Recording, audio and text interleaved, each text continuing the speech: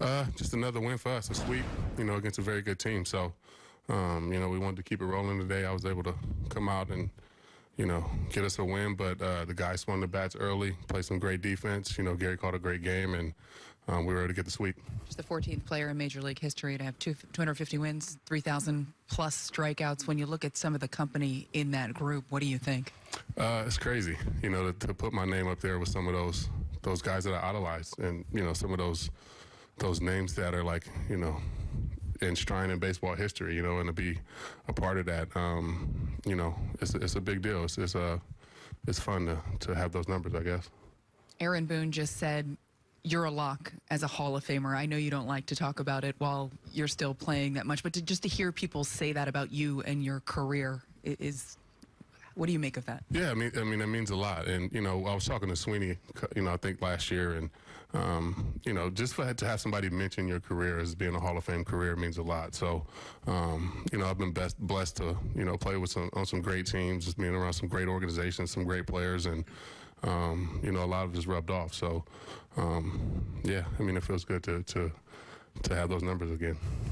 Left side, Kenny on third row. CC, does it make it more special to have this to complete a sweep against your your top rival? Yeah, for sure. Um, I think that's the biggest thing is you know coming out today and getting that sweep, um, especially the way we did. You know, um, you know, getting that 12 to one win. You know, making a statement that uh, you know we're a pretty good team and we want to keep going.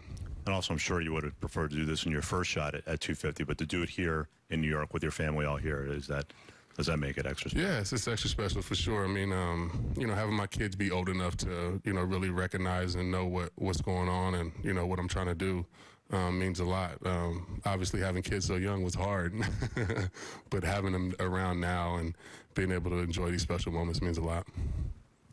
Brian on the far right. See, this was your fourth try at it. How much was this kind of weighing on you, and, and were you thinking about it? Uh, to be honest, none.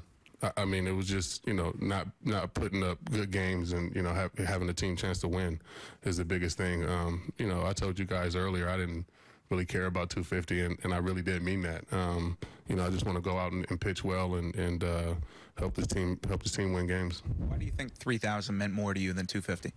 Um, I mean, I guess because to, to get a win, so many things have to go right. You know, I think I feel like when you're striking when you you know strikeouts is, is kind of you, but uh, you know for the team to win, it's it's a team win more so than it is you know yourself. So um, yeah, I, I, I mean I don't know, just just one of those things where I, you know I feel like when when the team wins or when I win a game, it's just because of you know everybody else. Mark. Same thing I ask your manager about you. I'll ask you, how have you been able to do this so well for so long? Just being blessed um, for sure. Um, you know, like I said, I, have been able to play with some great players and have some of those guys rub off on me, like Andy Pettitte, you know, Mariano Rivera. Just thinking about the second half of my career, learning the cutter and you know where that's taken me. Um, you know, if I hadn't learned that pitch in 2014, I'd probably be out of the game. So to have those two um, willing to help me and willing to tutor me uh, means a lot. And what do you remember about your first win? My first win, I remember I didn't even know I won the game until until Dave Burba came up to me and was like, "Hey, it's your first win."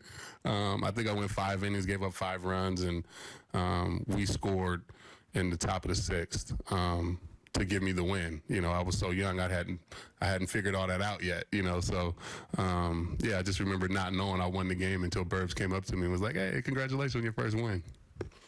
Coley in the front. Uh, CC, you were just mentioning that you know wins are more of a team kind of a, a, a accolade, so to speak. What does that say about the teams that you've been on that you've had this many? Yeah, I mean, I, I could say that more, you know, about the, the organizations and teams that I played on. Um, you know, to have this many wins, you know, you got to be on some good teams. Those Indian uh, years, playing with some of those guys in that organization, um, obviously going to Milwaukee, um, you know, and having that run there, but being able to come here and being on some great teams from the start um, really allows you to go out and, you know, put up these kind of numbers, I guess. Meredith. CC, after last start, you talked a lot about the cutter and how it wasn't quite there. The grip felt a little different. What did you do in between starts to kind of find that comfortable grip, and did it feel a lot better this afternoon? Yeah, it felt great today. It felt like it was uh, on the way back. Um, you know, just in between starts, I, I, I, sat with the baseball the whole time and just play with my thumb on the ball and, you know, ch- figured out a good, comfortable spot to kind of, you know, move my thumb um, to to get that good feel of you know where I, where I let the ball go, it's going to cut, um, and I was able to get that done. And you know, two days ago I threw the bullpen, and it, the cutter was pretty good, and you know I was excited about coming out here today. Bob on the far right. That was my question. Fantastic. Uh, Kenny on the left. CC, um, what goes through your head when you get the six nothing lead in the in the bottom of the first? Um, just it's still so early that um, you know that's a great lineup, a great team. So I'm still focused on you know trying to, to get the team back in the dugout to um, to score more runs. Um, is is what I'm thinking is you know let's have a quick inning you know and, and get back uh, get back in the dugout and try to put some more pressure on their pitchers. And then in the fifth, I think you thought the fans certainly thought you had strike three on a Pham, I believe, and then and they score the run. Do you have to take a deep breath or anything there, one out before it's an official win?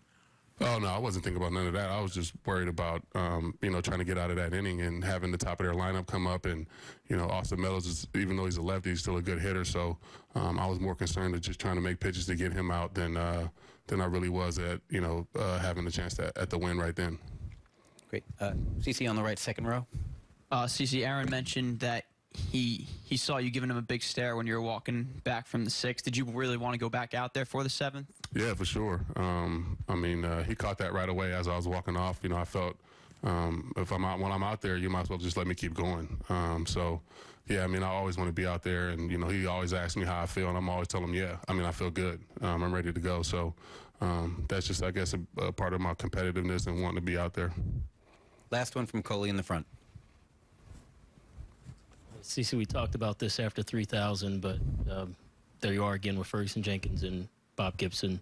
What does it mean to be number three as far as African American pitchers all time uh, to get to 250? Yeah, that's a huge accomplishment. That means uh, a lot. Um, you know, being, you know, African American pitcher, being, you know, from the inner city and, you know, wanting this game to grow again back in inner city. Um, you know, having a chance to put up these numbers and see some of these kids know that I'm from where they're from, and you know, I love this game of baseball. Um, hopefully, it opens some doors for some, some kids to open their eyes to start playing the game. Thank you, C.